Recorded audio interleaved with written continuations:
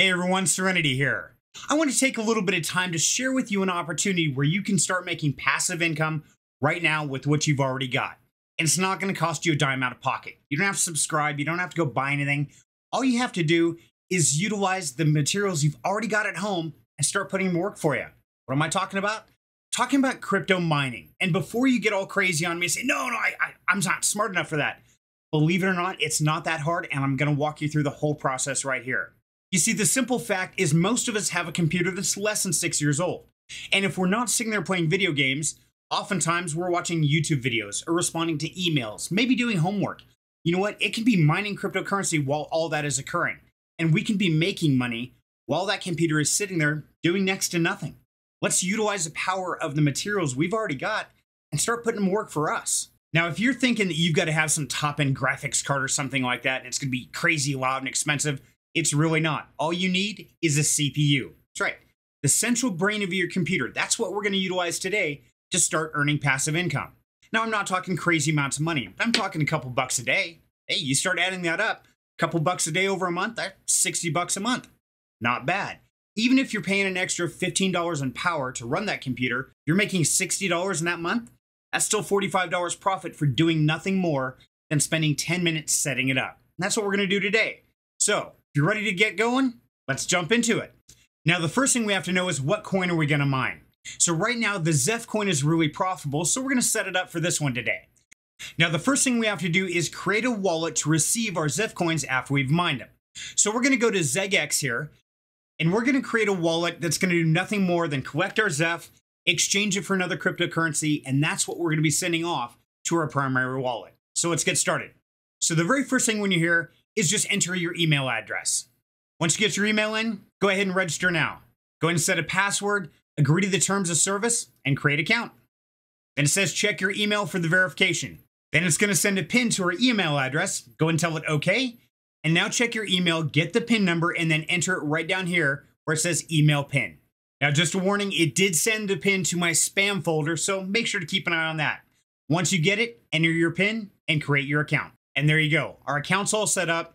The only thing we still have to do is add a two factor authenticator to this account to allow us to receive and send cryptocurrency.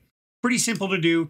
Grab your cell phone, use Google Authenticator or whatever one you have, and then on your account screen, just go to setup two factor right there. And there you go. Same process we've done time and time again on multiple other programs. And all this does is add a layer of security, but it is required to get our Zeph address that we need. So we're going to go ahead and scan the QR code, enter the number it gives us on our authenticator, and click Save Changes. Now it's going to take your account settings screen, but you know what? We don't need any of this. From here, just click Wallet. From there, go to the top, do a search for Zeph, Z E P H. Go down to the one that just says Zeph. Go over to where it says Deposit. Click on that. That's going to give us our Zeph wallet address. Now, this is where we are going to have our earnings sent to. Now, once it's over in this wallet, we can exchange it for whatever we want. We can send that off to Coinbase or however we want to do it. That's totally up to you. We just have to create this wallet address so that can receive our earnings from our mining program. So let's go set that up. Now we have to set up the actual mining software. So we're going to go to xmrig.com. Now, I got to warn you up front when you try to download this, your antivirus program is going to see it as a virus because it's going to be a software program that runs in the background. So, what we're going to have to do to get this through security is we have to turn security off briefly for these next few steps. So, if you're running on a Windows machine, it's actually really simple. Go down here to the bottom Windows icon, type in the search box security. Then it'll show you Windows security. Go ahead and click on that. Once that pops up, go down to your virus and threat protection.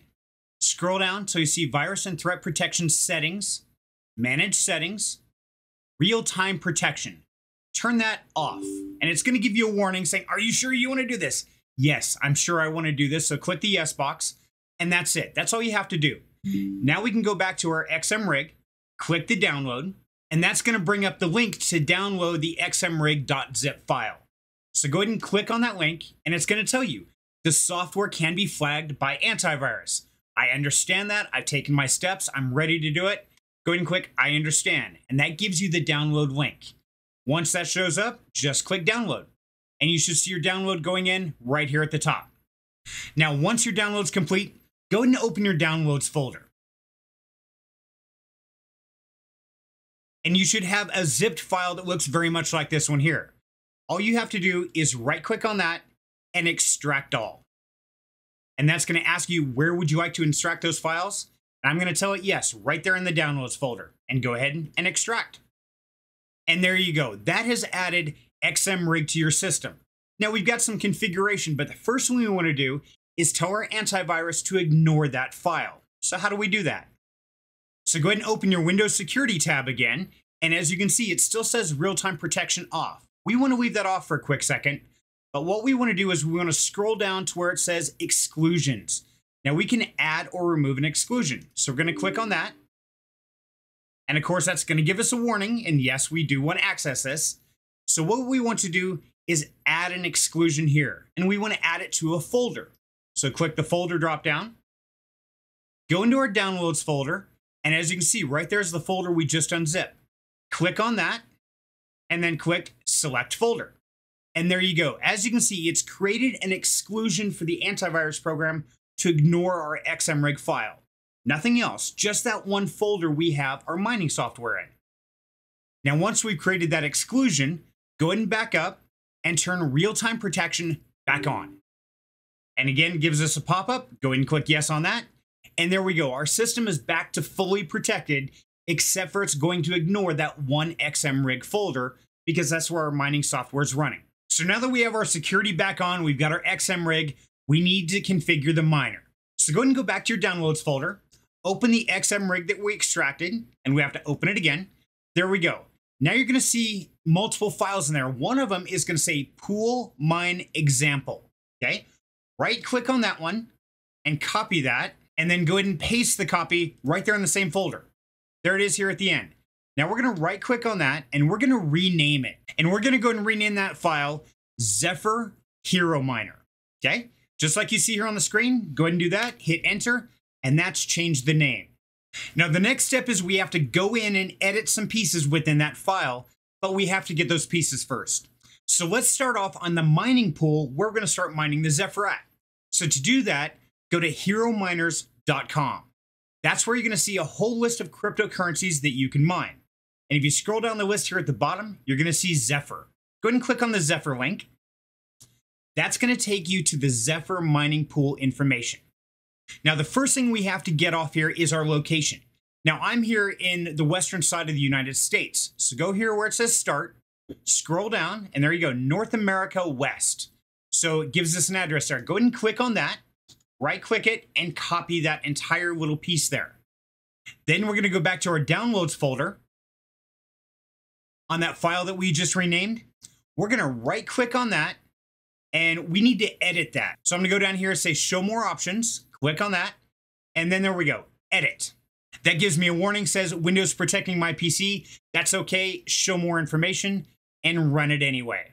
Now that opens up our notepad. This is what's inside that file that we just renamed, okay? But what we have to do is fine tune this with our personal information. So up here gives us an example of all the different parts of this line of code. But really what we need is this line of code right down here is what we're going to be editing. So the first thing we just copied from Hero Miners was the location and port number that we're going to be mining to, because that's the closest mining pool location. So look at the line of code right here where it says xmrpool.eu colon 33, highlight that, and then paste what we just copied from Hero Miners in. So now it says us.zephyr.herominers.com colon 1123. Yours will say something different based on the location you selected on Hero Miners. Now, the next thing we have to do is get the wallet address that we have to deposit our Zephyr in from Xeggex. So let's go back to that tab. So if we open our Xeggex tab, remember we had our wallet address, this right here. Go ahead and click the two pages to copy that address. Go back into our notepad. And this big long number right here, that's the entire wallet address but we want to do only the wallet address. So highlight that and control V. And that will change it to our Xeggex wallet address. So essentially, this should read xmrig.exe dash zero should have the address for where we're going to mine to, the pool, dash U, then it should have our entire wallet address from Xeggex, which is the Zeph, da da da da, all the way down to the dash P, space, X, and pause. Now, once we've done that, go ahead and click File and Save.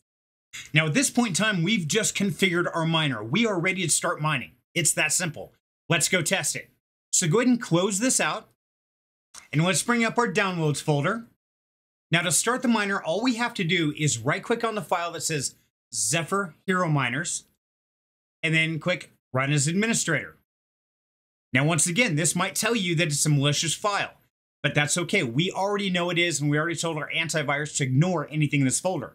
So go ahead and click the More Information and tell it to run anyway. That's going to give us another pop-up. Do you want to allow this app from an unknown publisher to make changes to your device? Yes, we do. Now, once you open that, it's going to pop up a window that looks just like this.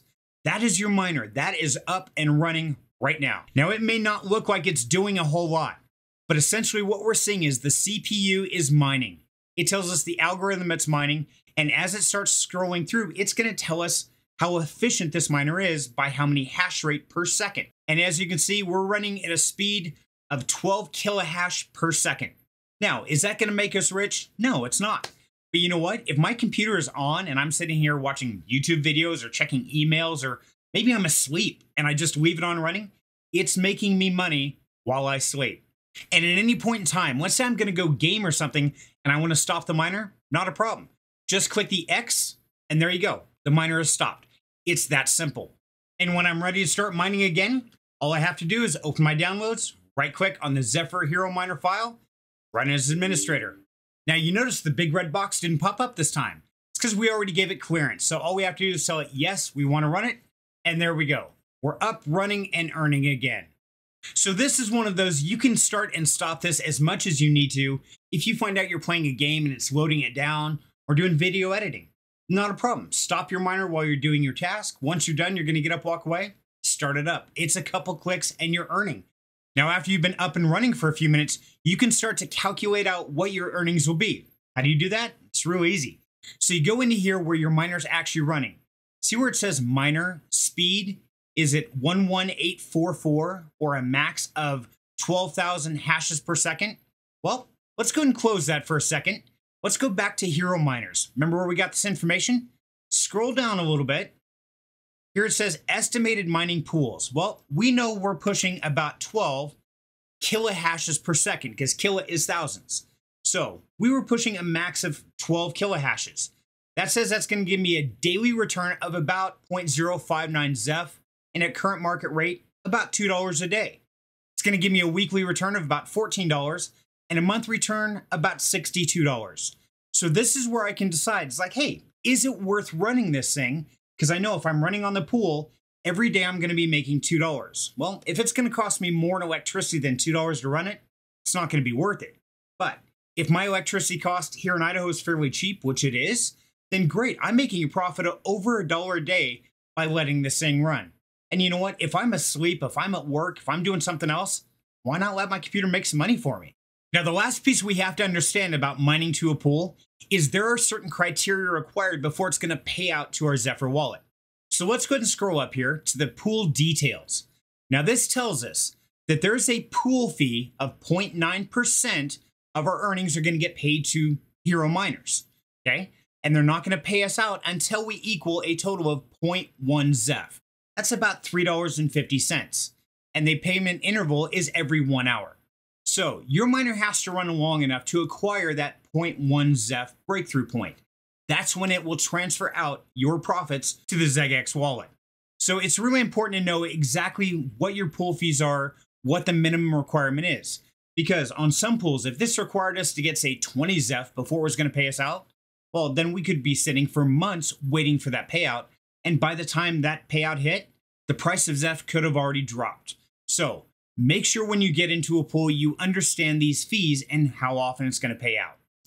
Now, I hope this information has been valuable and it's really shown you that there are earning opportunities in crypto absolutely everywhere. But oftentimes, it doesn't require anything to get started. All it takes is a little bit of creativity and having a little bit of knowledge. Now, if you've enjoyed this information and you want to see more of it, do me a huge favor. Take a moment, like the video, subscribe to the channel. If you have any questions or comments, please leave them down below, or even better yet, jump in the Discord community. There's a great group of people talking about crypto, investing, earning, everything you want to know about crypto. We've got an awesome community over at Down Home Crypto.